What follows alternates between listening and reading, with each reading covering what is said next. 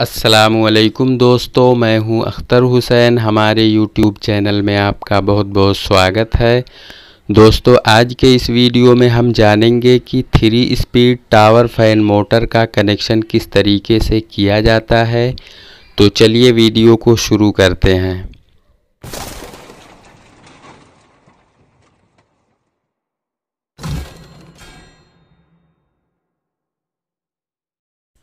तो यहाँ पे आप देख सकते हैं, इस मोटर में टोटल छः वायर है।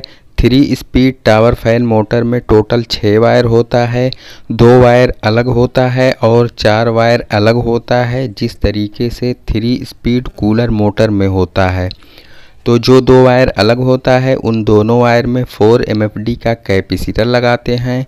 इसके अलावा जो चार वायर अलग होता है, इन चारों वायर में ब्लू कलर का वायर, कॉमन वायर होता है।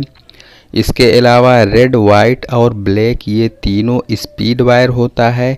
रेड कलर का वायर लो स्पीड वायर होता है वाइट कलर का वायर मीडियम स्पीड वायर होता है और ब्लैक कलर का वायर हाई स्पीड वायर होता है। तो अब हम आ जाते हैं स्विंग मोटर पे। तो स्विंग मोटर में टोटल दो वायर होता है। तो हम इसके कनेक्शन को प्लग से शुरू करते हैं। प्लग का कोई भी एक वायर ले लेंगे। स्विंग मोटर का कोई भी एक वायर और टावर फ़ैन मोटर का ब्लू वायर, इन तीनों वायर को आपस में मिला देंगे।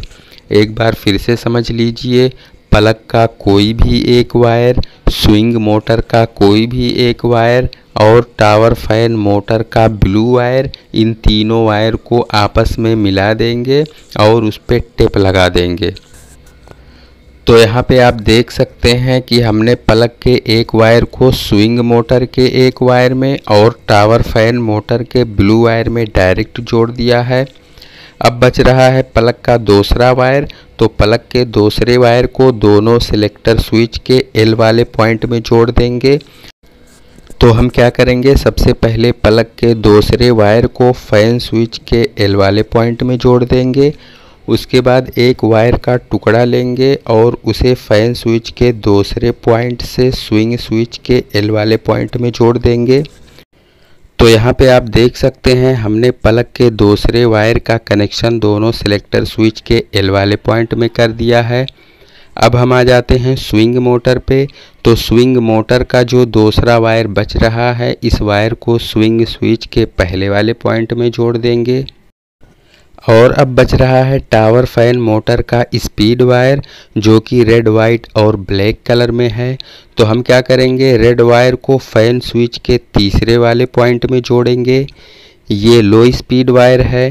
वाइट कलर के वायर को फ़ैन स्विच के दूसरे पॉइंट में जोड़ेंगे। ये मीडियम स्पीड वायर है और ब्लैक कलर के वायर को फ़ैन स्विच के पहले वाले पॉइंट में जोड़ देंगे। ये हाई स्पीड वायर है।